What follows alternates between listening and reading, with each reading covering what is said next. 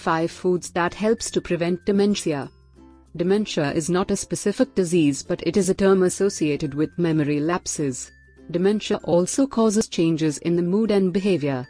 The problem of dementia erupts when the brain is damaged by the disease like Alzheimer or series of strokes. 5 foods that helps to prevent dementia are 1. Broccoli. Consumption of broccoli enhances the function of the brain. Broccoli contains choline, which boosts the memory and better cognitive abilities. To prevent dementia, enhance the consumption of broccoli. 2. Berries. Berries are the rich source of anthocyanin, which prevents dementia and Alzheimer's.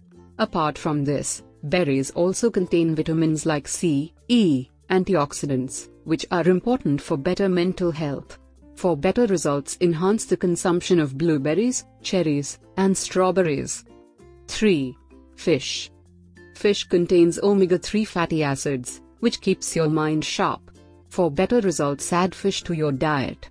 If you don't like the fish then you can also consume flax seeds. 4. Beans.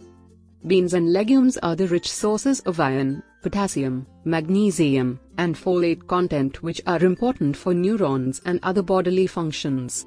Add more beans and legumes in your diet to increase brain function and prevent dementia. 5. Nuts. Unsalted nuts are high in antioxidants and healthy fats. Walnuts are particularly high in omega-3 fatty acid, a brain protective nutrient.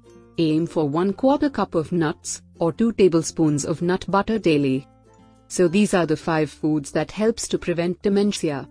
Thanks for watching this video. If you enjoyed this video, please do not forget to like and subscribe to our channel.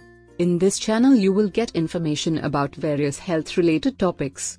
Wishing you good health in your life. Bye.